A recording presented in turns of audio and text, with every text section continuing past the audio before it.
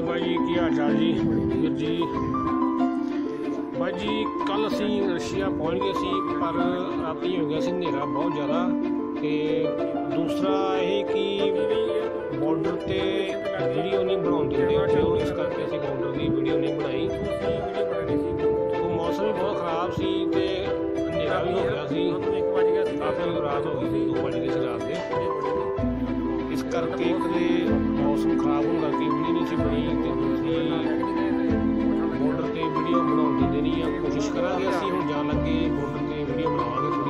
ਕਰਨਾ ਤਾਂ ਮੋਟੇ ਕੱਪੜੇ ਲੈ ਕੇ ਆਏ ਤੇ ਅਸੀਂ ਵਾਪਸ ਆ ਰਹੇ ਸੀ ਤੇ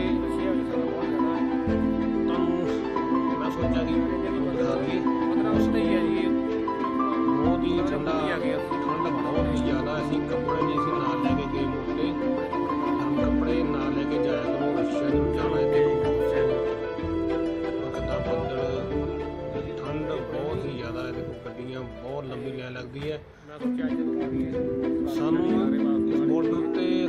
ਘੱਟ ਤੋਂ ਹੁਣ ਹੋ ਗਏ ਨੇ ਜੀ 5 ਘੰਟੇ ਖੜੇ ਹੋਏ ਨੇ ਇੱਥੇ ਵਾਪਸ ਜਾ ਰਹੇ ਹਾਂ ਬਹੁਤ ਹੀ ਜ਼ਿਆਦਾ ਰਸ਼ ਹੈ। ਬਾਕੀ ਵੀ ਜੀ ਕੋਸ਼ਿਸ਼ ਕਰਾਂਗੇ ਸਾਨੂੰ 1 ਵਜ ਗਿਆ ਸੀ ਤੇ ਰਾਤ ਤੇ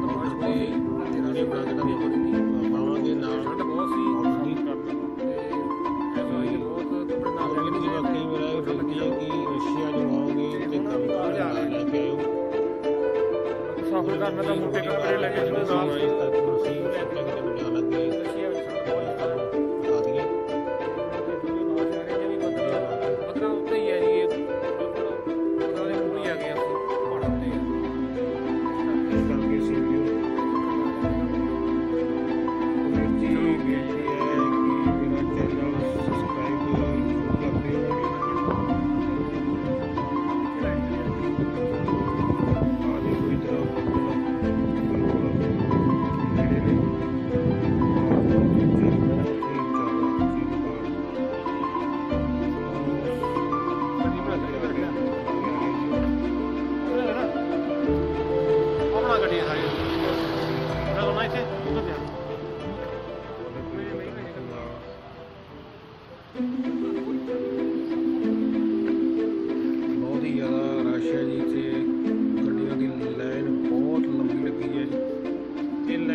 ਲਾਈਨ ਘੱਟ ਤੋਂ ਦੀ ਵੀਰ ਅੰਦਾਜ਼ਾ ਲਾਈਏ ਤੇ 8-9 ਕਿਲੋਮੀਟਰ ਲਾਈਨ ਲੱਗੀ ਹੋਈ ਹੈ।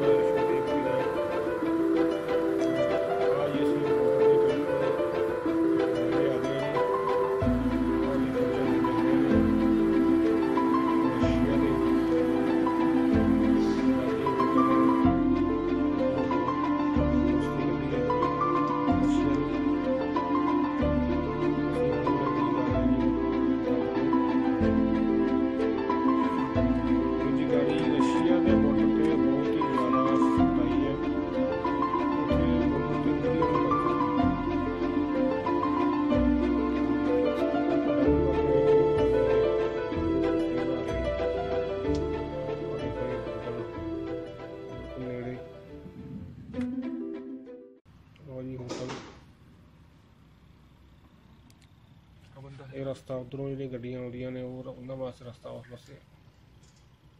ਜਿਹੜੀ ਗੱਡੀਆਂ ਇੱਧਰ ਜਾਂਦੀਆਂ ਇਹਦਾ ਇਹਦੇ ਵਾਸਤੇ ਰਸਤਾ ਇਸ ਪਾਸੇ ਆ। ਇਹ ਨਾਲ ਟੇਲਰ ਵੀ ਵੱਡੇ ਵੱਡੇ ਜਾਂਦੇ ਨੇ ਜਿੱਧਰ ਨੂੰ।